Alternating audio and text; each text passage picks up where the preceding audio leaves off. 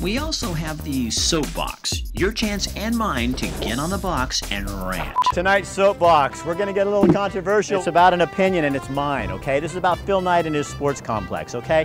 I've seen all the writing and all the people yelling and screaming about it. Is it over the top? Yes. Is it too much? Of course it is. Bottom line is, Phil's done a lot of other good things in the community. The Knight Library, Matt Court, the single largest construction project in Lane County history. He donated $100 million to Oregon Health Sciences University so that I could get treated for cancer. I don't think that was his reason, but that's what happened with it.